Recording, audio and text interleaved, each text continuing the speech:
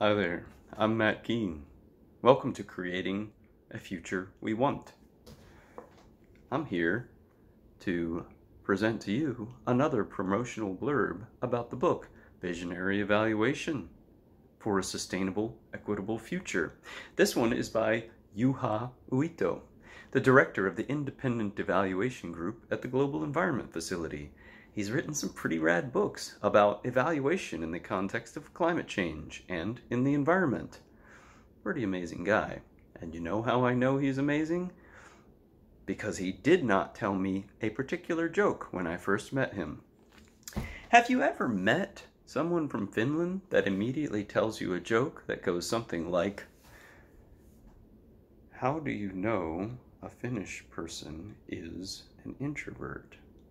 I wish I could do the Finnish accent. I could, but it would offend everybody. Because when they talk to you, they look down at their shoes. Ha ha ha. Oh, but that's not the end. How do you know that a Finnish person is an extrovert? Because when they talk to you, they look down at your shoes. Ha ha ha a little bit. It gets a little better, right?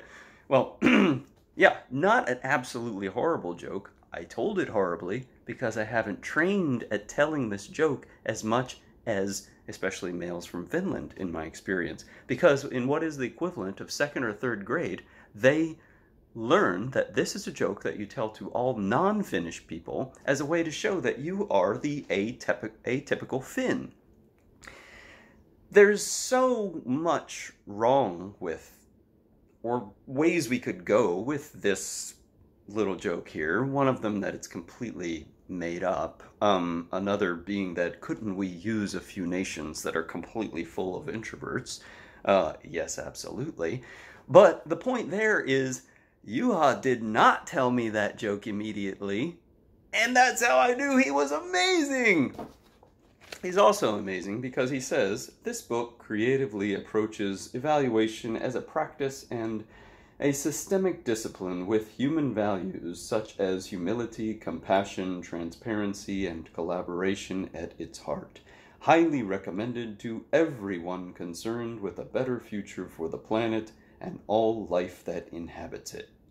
That's everybody, right?